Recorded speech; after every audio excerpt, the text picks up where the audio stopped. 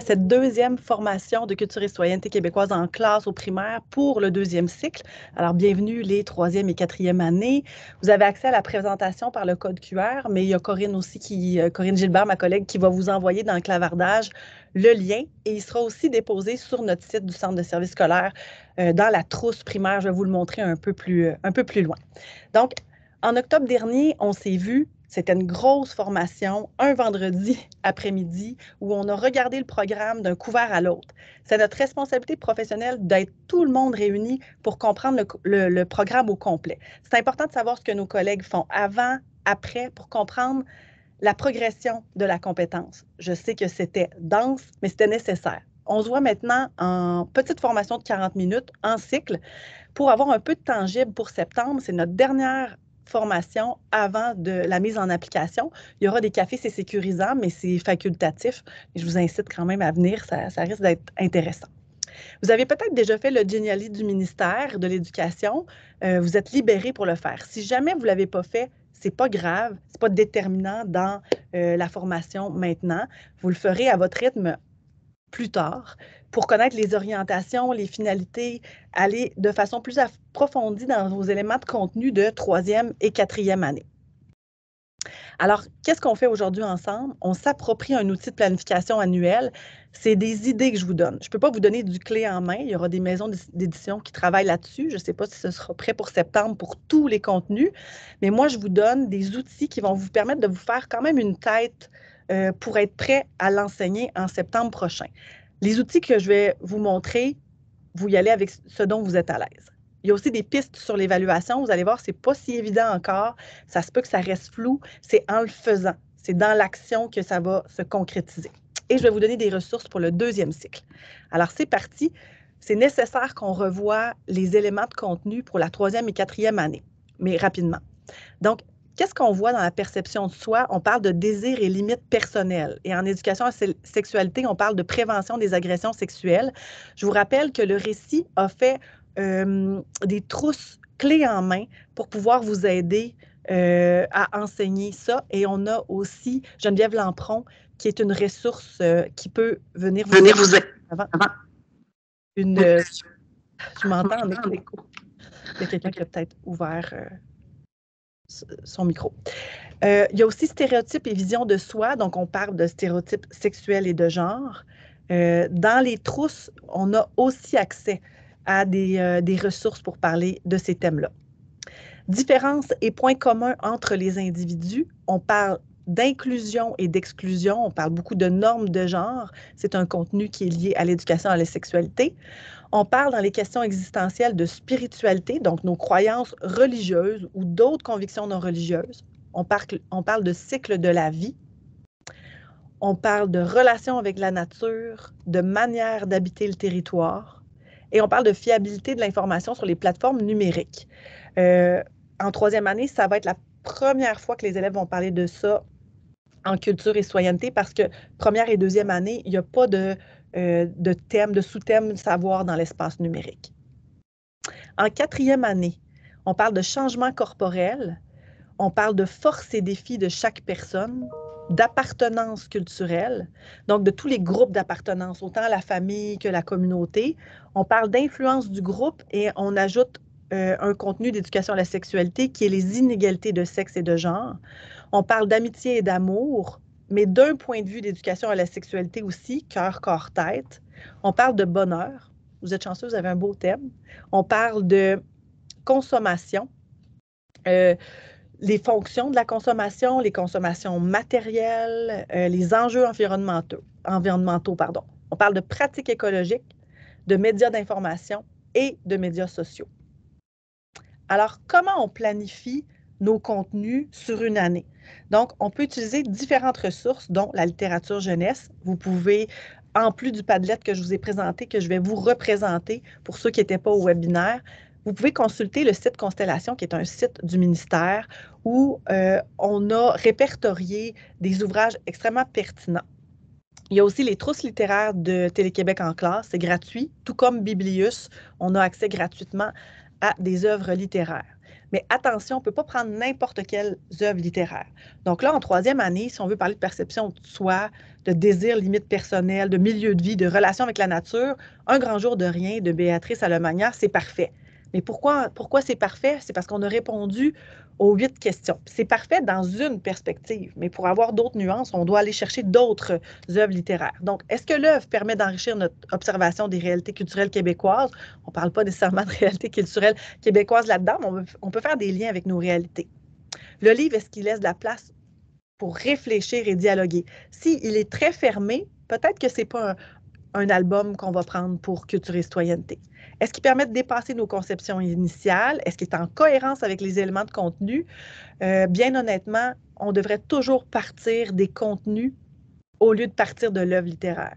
C'est sûr que c'est facile, on l'a à portée de main, oh, j'ai ça dans ma classe, qu'est-ce que je préfère? Partez vraiment du contenu pour être sûr que c'est ciblé.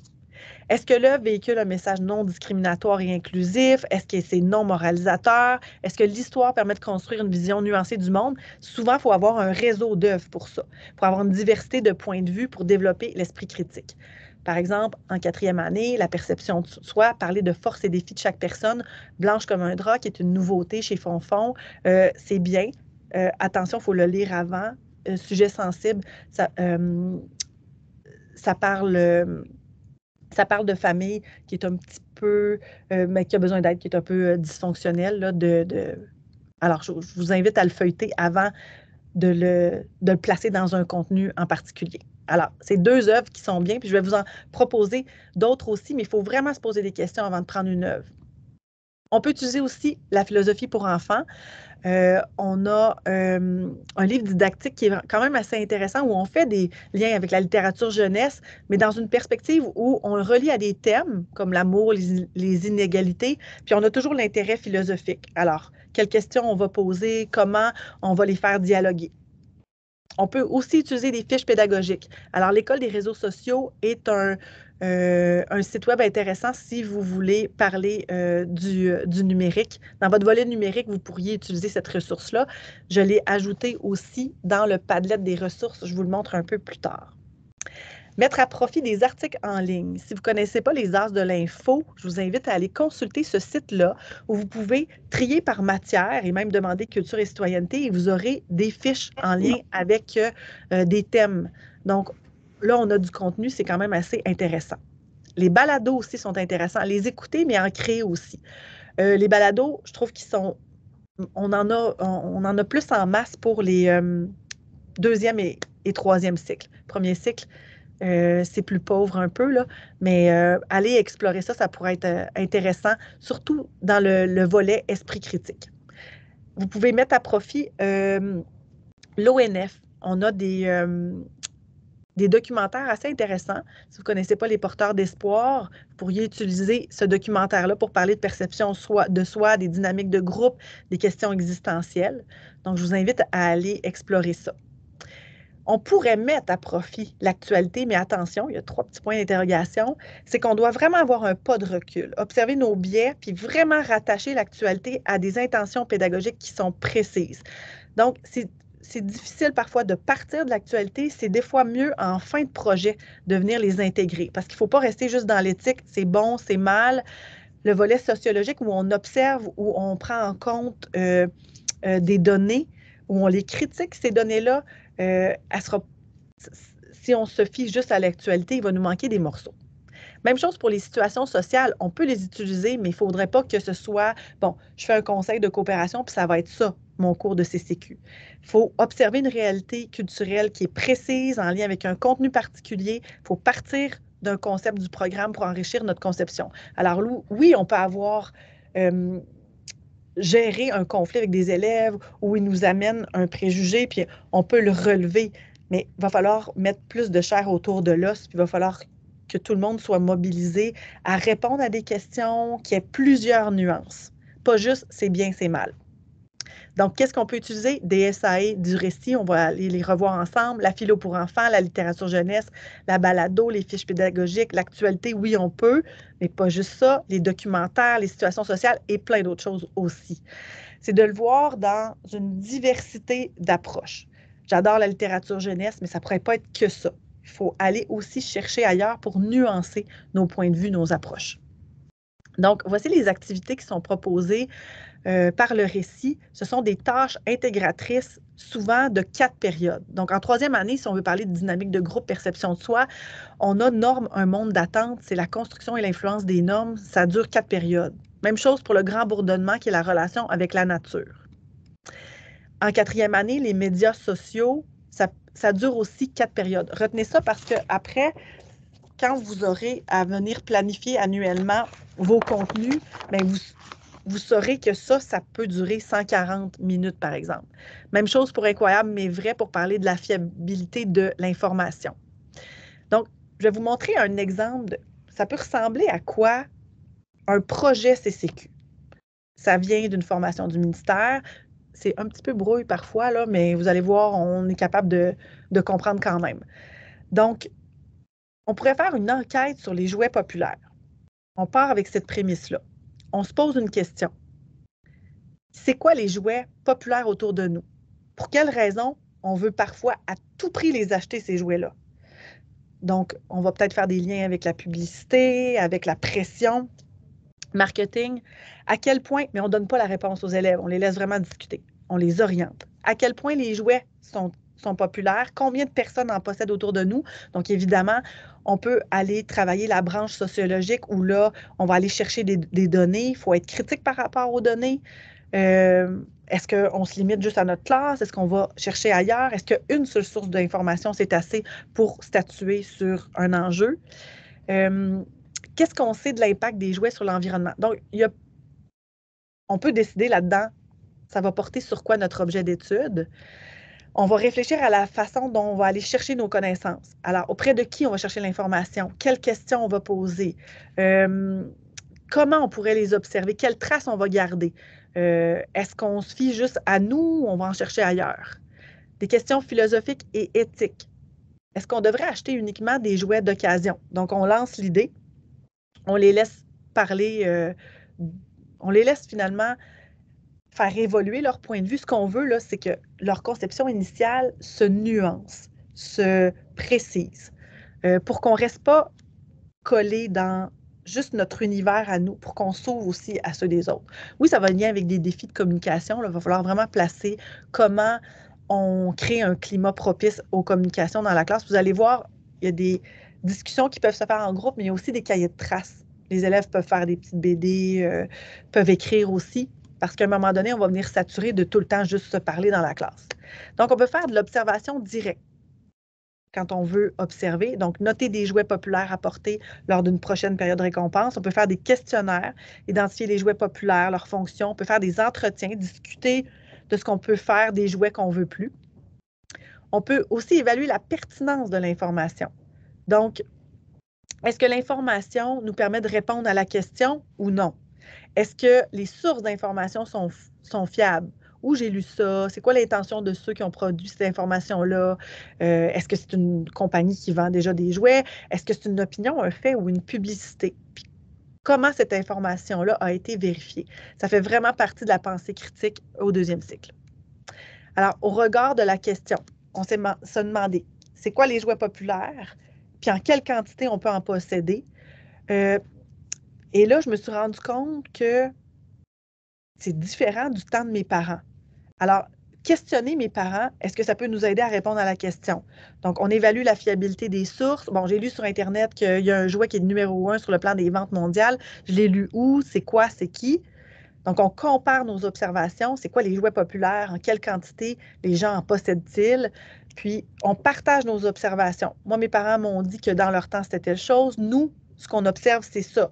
Dans la cour au service de garde, on remarque que. Qu'est-ce qu'on constate? Alors, on a des repères. On dialogue dans le groupe. Est-ce qu'on devrait interdire la vente de jouets neufs? De mon point de vue, bon, il y en a qui peuvent dire on ne devrait pas bannir les jouets neufs parce qu'on on peut les recycler. Donc, notre repère, c'est l'expérience. Mais il peut y avoir un repère de statistique qui, qui, qu'on prend dans un journal, par exemple. Au contraire, on devrait limiter les jouets neufs parce que j'ai lu sur un site d'information qu'un très petit pourcentage des jouets étaient recyclés puis que la plupart allaient directement au dépotoir. Donc, est-ce qu'un repère, c'est pertinent ici pour comparer des points de vue? il y a parfois des erreurs de raisonnement. Il y a, si dans les dialogues, on se rend compte que, euh, bon, quelqu'un n'était pas d'accord avec le fait de bannir des jouets neufs parce que toutes les filles aiment avoir des poupées neuves, est-ce que c'est un stéréotype? Oui ou non?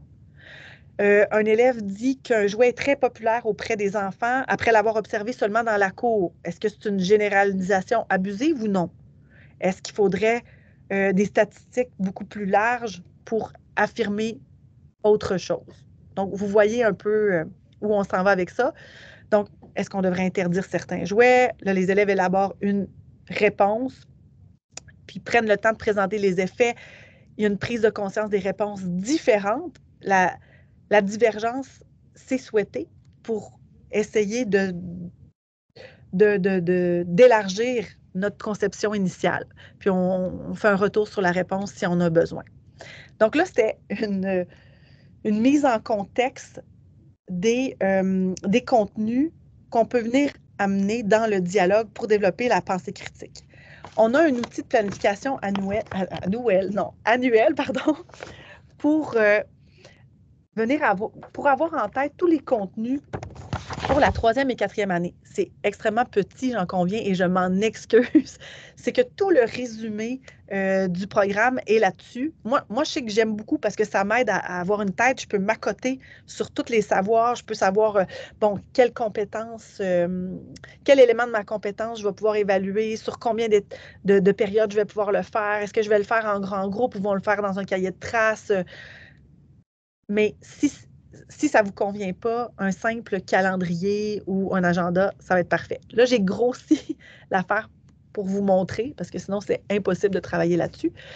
Bon, je veux venir ajouter des SA, des SC ou des SAE.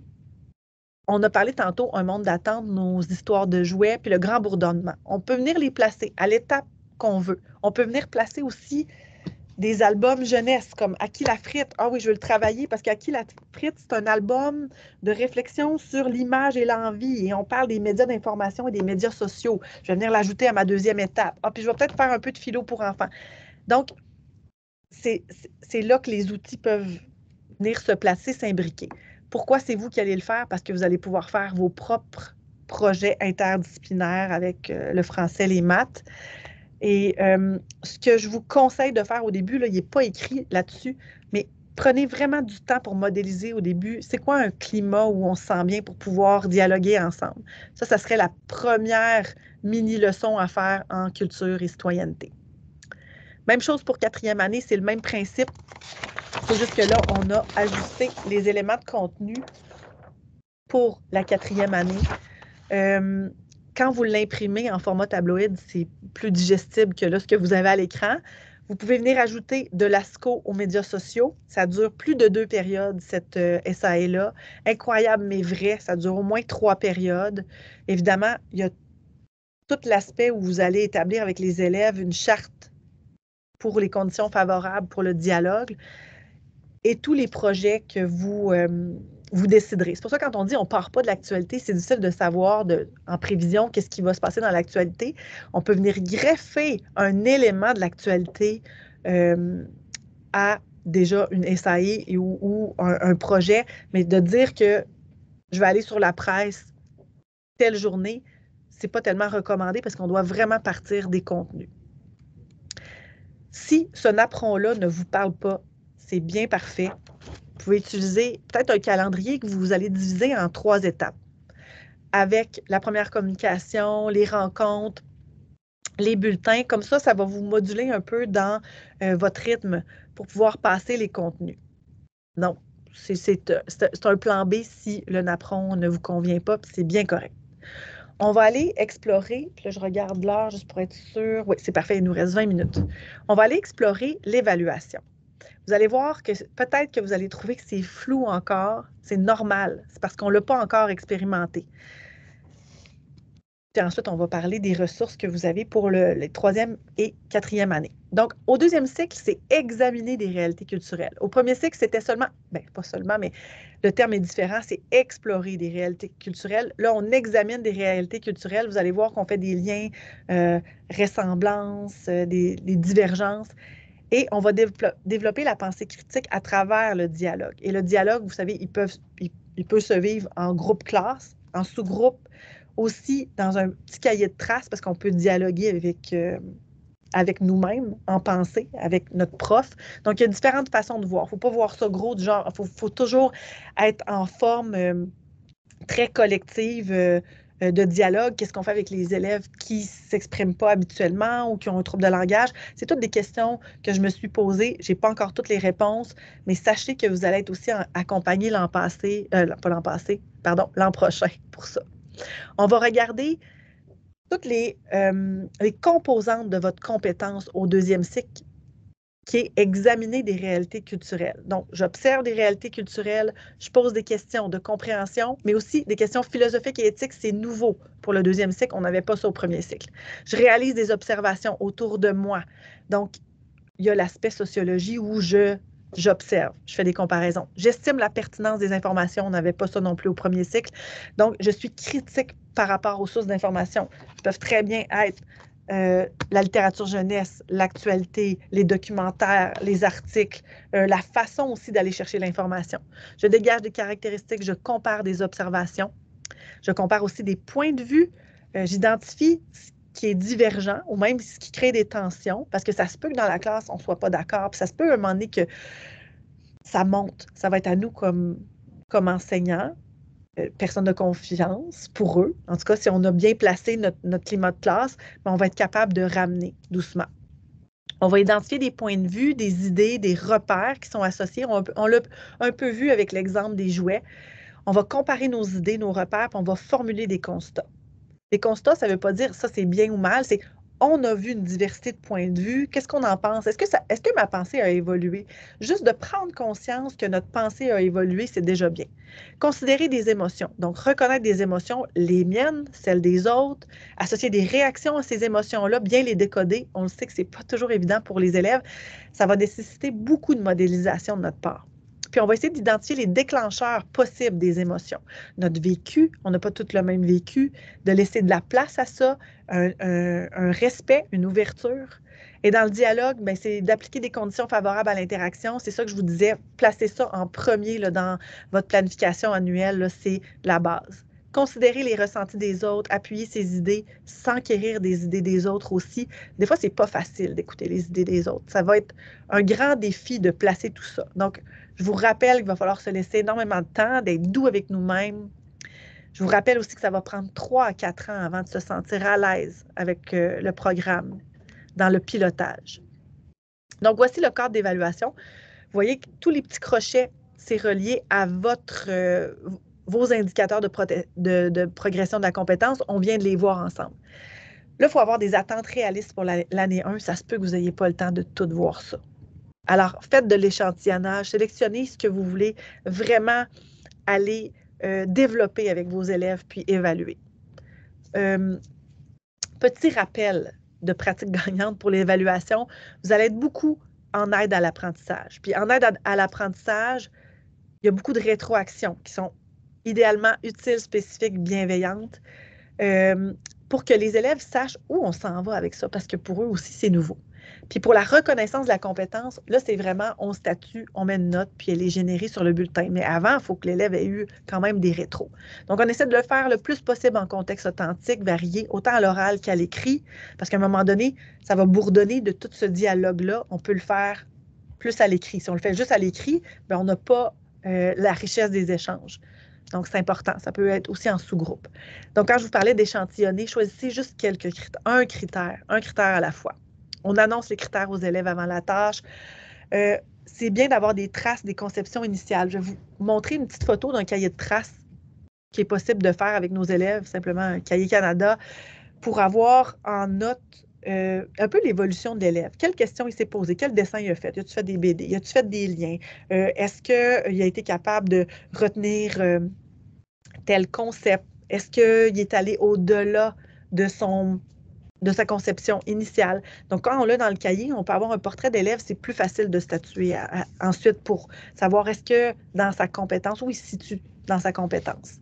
Et on fait attention à la protection des renseignements personnels et de la vie privée des élèves. Il faut dépersonnaliser. La littérature jeunesse permet vraiment ça.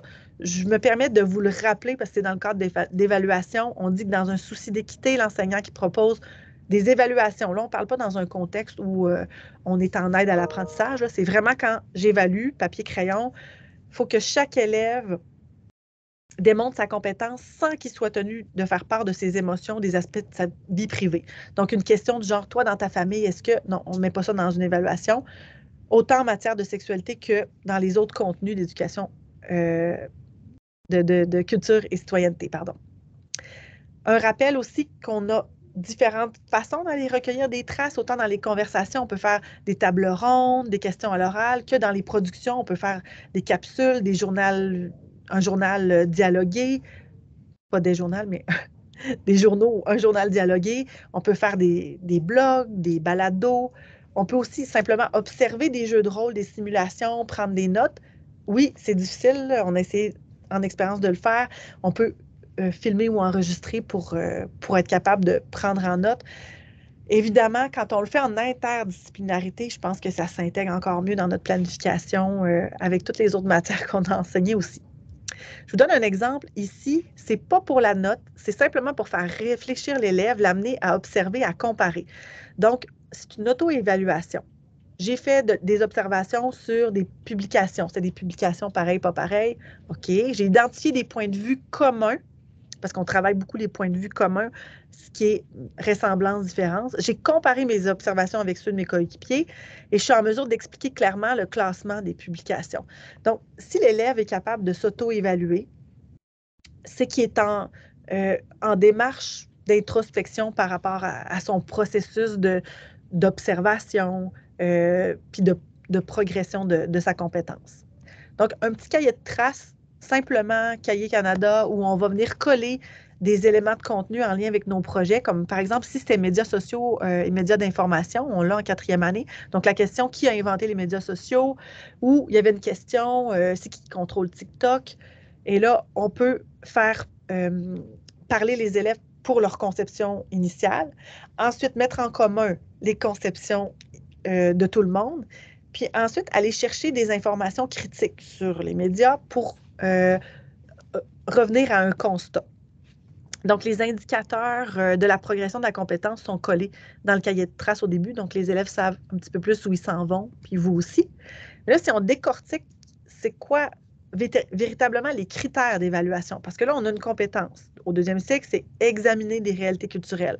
Mais il y a trois critères pour comprendre ça, parce que c'est flou, là. Examiner des réalités culturelles, toi, tu as un A, toi, tu as un C. Non, il y a une maîtrise des connaissances liées aux réalités culturelles qui sont imbriquées dans le, critère 2 et 3. Vous allez voir, c'est qu'on va évaluer beaucoup la qualité de la démarche, comment l'élève va s'exprimer ou va faire évoluer sa pensée, puis comment il va comprendre les réalités culturelles. Donc, ça ressemble à quoi? Le critère 1, comme je vous dis, il est intégré au critère 2 et 3. Donc, le critère 1, c'est la maîtrise de la connaissance liée aux réalités culturelles. Il est intégré dans la qualité de la démarche parce que quand l'élève va s'interroger puis va comparer, ben, on va voir qu'il a compris, qu'il avait maîtrisé ces connaissances-là. Donc, on a des sous-critères. Est-ce que l'élève est capable de se questionner de façon claire et pertinente? Si oui, plus, plus. Est-ce qu'il réalise des observations qui sont juste pertinentes ou variées ou c'est, très cloisonné puis c'est pas nuancé? Ça, c'est peut-être moins. Identification juste des caractéristiques liées aux réalités culturelles. Donc, pour ça, ça demande du dialogue. Pour ça, ça demande beaucoup euh, de modélisation. Parce qu'au début, ils ne sauront pas, on s'attend à quoi d'eux. Il va falloir, va falloir vraiment modéliser. Le traitement efficace, c'est est-ce qu'on est capable de comparer de façon juste des éléments qui sont pareils, puis est-ce qu'on est capable de comparer des éléments qui ne sont pas pareils, un peu comme les jouets dans le temps de nos parents maintenant. Et le critère 3, c'est la compréhension des réalités culturelles. Donc, je reformule mes observations, j'établis des constats et je présente de façon claire mes idées. Si c'est tout ça de façon juste et pertinente, ben c'est plus plus. Puis il n'y aura pas de police de CCQ. Là. La, première année, on se laisse le temps d'arriver.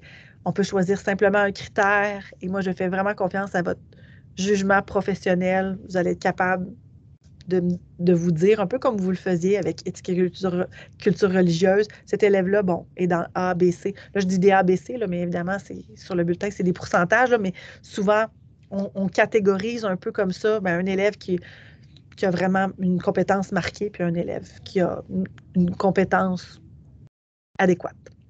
Alors, on peut simplement prendre aussi une liste d'élèves puis aller cibler notre critère. Quand on disait d'échantillonner, la maîtrise des connaissances, on le voit dans le critère 2 et 3. Mais là, peut-être que vous voulez juste regarder le critère 2, puis c'est bien correct. Puis là, vous allez avoir plusieurs traces, puis à la fin, mais ça va nous dire quel est le portrait de l'élève dans euh, l'examen de, des réalités culturelles.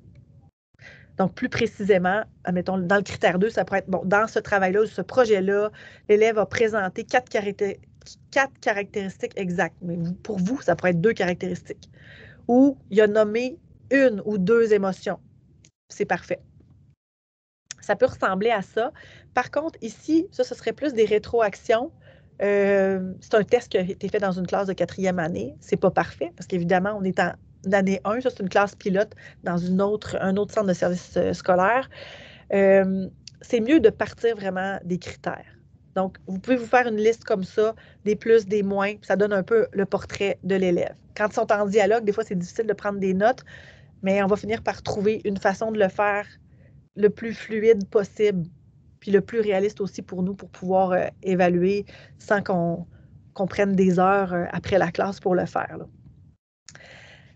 Alors, de façon encore plus concrète, si on prend un exemple, notre intention, c'est d'amener les élèves à mieux comprendre des ressemblances, des différences entre la consommation dans les jeux vidéo et la consommation matérielle. Qu'est-ce qu'on peut vérifier pour, que, pour, pour savoir si l'élève a bien compris? Donc, ma tâche d'évaluation, ça pourrait être que l'élève décrit plusieurs ressemblances et différences entre la consommation virtuelle et la consommation matérielle, puis il va résumer, va comparer des points de vue sur la consommation dans les jeux vidéo. Donc, ça va être quoi mes critères? Ben, mon critère 1, il utilise adéquatement ses connaissances. C'est quoi ses connaissances? Bien, qu'est-ce qu'il connaît de la consommation, des fonctions de la, de la consommation? des valeurs, des normes, des repères? Puis sa compréhension des réalités culturelles dans le critère 3, est-ce qu'il est capable de formuler des constats, des ressemblances, des différences, ou est-ce qu'il est capable de formuler des constats à partir des résumés de points de vue? Ça peut ressembler à ça. Si ça paraît encore flou, c'est normal, on ne l'a pas encore vécu. Vous allez être capable de créer tous ces liens-là. Là, je regarde l'heure. Il nous reste quelques minutes, huit minutes pour euh, voir les ressources ah, c'est écrit, je suis désolée, c'est écrit premier cycle, mais c'est deuxième cycle. Je m'en excuse. Euh, donc, les outils du ministère, le Geniali, c'est, euh, je pense que on n'a pas le choix de s'arrêter pour le regarder en détail. Des fois, on me demande, mais sont où toutes les ressources rapatriées? Parce qu'on ne veut pas aller chercher partout. C'est tout à fait normal j'ai déposé sur le site du centre de service scolaire une trousse qui s'appelle CCQ pour le primaire, vous avez les offres de formation, euh, toutes les présentations, euh, les vidéos des présentations, les webinaires, les tableaux d'ancrage qui sont intéressants. Vous avez les deux padlettes aussi que je vais vous montrer, dont celui-ci, qui est un padlet où vous avez en troisième et quatrième année les SAE. Vous cliquez sur la SAE, puis vous avez toutes les fiches pédagogiques qui sont reliées à ça. Euh, je vais ajouter avec le temps aussi s'il y a d'autres euh, activités qui se créent, je vais les ajouter aussi dans votre colonne. Si vous voulez créer des activités, puis vous voulez les partager, ça me ferait tellement plaisir de les mettre là parce que je veux qu'on euh, qu'on travaille vraiment en équipe, pas en silo, qu'on décloisonne tout ça, puis qu'on s'entraide parce que l'année 1, ça se peut qu'on se sente un peu au dépourvu, mais je ne voudrais pas qu'on en reste là. Je veux qu'on sente qu'on on est une communauté qui partage, c'est un nouveau programme qui est implanté de façon massive. Donc, s'il y en a qui ont des bons coups, on a lu euh, un album, on veut l'exploiter de telle façon, bien, on va venir l'ajouter pour que les autres puissent euh, en bénéficier. Comme les contenus ont été annualisés, mais c'est facile de partager avec nos collègues de notre année. Le, portail national, c'est facile d'aller chercher de l'information. C'est souvent des liens avec euh, des thèmes ou des SAE. Vous tapez votre niveau, le thème recherché, puis vous allez avoir l'information. C'est aussi sur le site du centre de service scolaire, euh, de notre centre de service scolaire dans la trousse de euh, primaire. Je vous ai aussi créé un Padlet avec toutes les œuvres littéraires. Vous en avez à peu près 150 qui sont répertoriées par, par thème. Euh, éléments de contenu, comme quête de sens. Euh, vous avez tous les livres en troisième et quatrième année. Euh, et vous avez les questions fortes à se poser et le webinaire, si vous n'y avez pas assisté, euh, ça dure à peu près 30 minutes où je présente des œuvres littéraires, ceux qui sont en surbrillance en, euh, en mauve. Vous avez aussi sur Constellation les œuvres fenêtres, les œuvres miroirs et les œuvres portes. à quoi ça sert de catégoriser ces œuvres-là? Comme on est en culture et citoyenneté, les œuvres fenêtres, ça nous permet de nous ouvrir à une réalité culturelle différente de la nôtre. Donc, ces œuvres-là vont être très présentes dans nos cours de culture et citoyenneté. Les œuvres miroirs, c'est plus une œuvre où on se reconnaît comme personnage. Donc, on peut s'identifier, puis on, peut avoir des repères culturels qui sont connus. Donc, c'est important de les voir aussi, ces œuvres-là, pour faire des liens avec nos œuvres fenêtres et les œuvres portes qui comportent des thèmes qui sont résistants, puis qui génèrent des réactions souvent émotives. On parle beaucoup des émotions en culture et citoyenneté. Donc, euh, c'est important des fois de retravailler qu'est-ce qu'une émotion, quelles sont les émotions, comment je, peux euh, les gérer, les accueillir, autant les miennes que celles des autres quand on, fait du dialogue. Euh, puis souvent, euh, par les livres, c'est plus facile parce qu'on peut dépersonnaliser. L'offre de formation, on est déjà rendu à la fin, c'est-à-dire qu'on a vu le programme officiel au complet. On a parlé de littérature jeunesse, il y a eu un webinaire qui est encore accessible. Euh, vous avez peut-être fait euh, l'outil d'appropriation autonome, le Geniali du ministère. Si ce n'est pas fait, vous pourrez le faire euh, dans les mois, les, semaines ou mois qui suivent. Vous, êtes libéré pour ça. vous pouvez en parler à votre direction. L'outil de, planification annuelle, on l'a vu, évidemment, vous ne repartez pas avec l'outil déjà tout fait, mais vous savez qu'il existe, qu'il est là, vous savez que vous avez des ressources. Ça va être à vous à placer vos SAE à votre rythme, selon ce que vous voulez faire, avec aussi les possibilités de l'interdisciplinarité. Et on a des cafés, c'est sécurisant. On va en avoir quatre. Euh, il va en avoir un. Il va avoir aussi des profs piliers. Mais on attend de voir. Il y a quand même des, enseignants qui se sont manifestés. Je vous remercie déjà à l'avance. On essaie aussi d'équilibrer ça, que ce ne soit pas juste des profs de quatrième. On veut que ce soit un enseignant par niveau aussi pour pouvoir créer d'autres outils pour pouvoir vous aider. Alors, les cafés, c'est sécurisant. Le premier, ce sera le 15 février où on va parler de pistes concrètes pour développer l'esprit critique. Ça dure environ, euh, c'est à peu près 40 minutes. Le café, c'est pas une formation, c'est beaucoup plus organique. Je, donne euh, des trucs, mais on, pose beaucoup de questions puis il y a des échanges. Euh, le 15 mars, c'est pour le premier cycle. Vous pouvez être là, il n'y a pas de problème, mais le 15 avril, c'est spécifiquement pour des idées de SAE en lien avec les éléments de contenu. Donc, je peux arriver avec des albums jeunesse, euh, des idées de philo pour enfants ou d'autres SAE qui auraient été créés. Et le 15 mai, c'est pour le troisième cycle. Alors, avant de terminer, il reste trois minutes. Je veux qu'on fasse le tour encore de la posture. Je sais que comme les enfants, comme on est apprenant aussi là-dedans, on a besoin de répétition.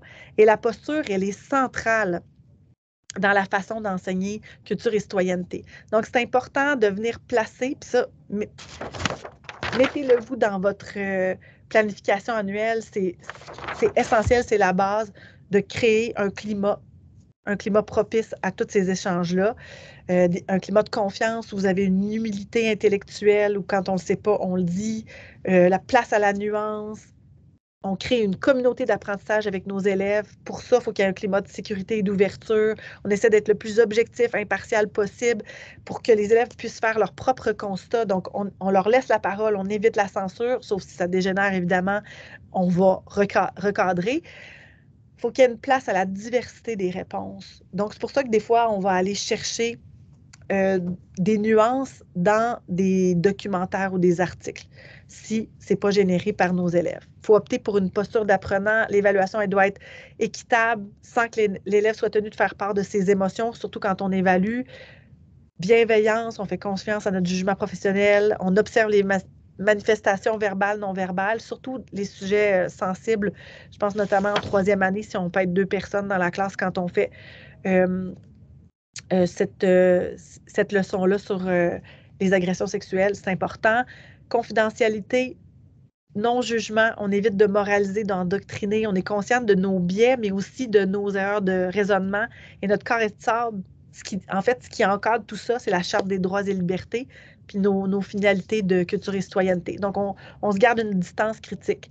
Alors, je sais que c'est la clé. Ce ne sera pas nécessairement évident de le, piloter comme ça parce qu'on va apprendre à avoir une posture différente. Cette posture-là, il faut qu'elle soit présente tout le temps, pas juste quand on fait CCQ, mais beaucoup quand on fait CCQ, évidemment, pour pouvoir permettre un dialogue qui est vraiment ouvert pour les élèves, puis qu'il y ait un, exemple concret qui est nous, qui est capable de recadrer, d'écouter, de dépasser même nous, nos conceptions initiales, puis d'avoir un esprit critique beaucoup plus nuancé sur, euh, sur notre société.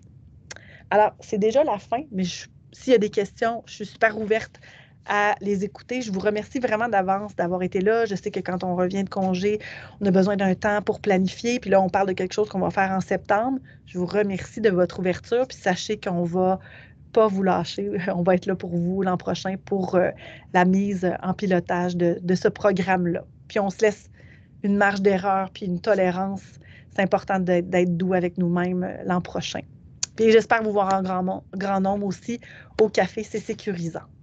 Alors, s'il n'y a pas de questions, je vous quitte parce que je vais donner la formation aussi pour le troisième cycle.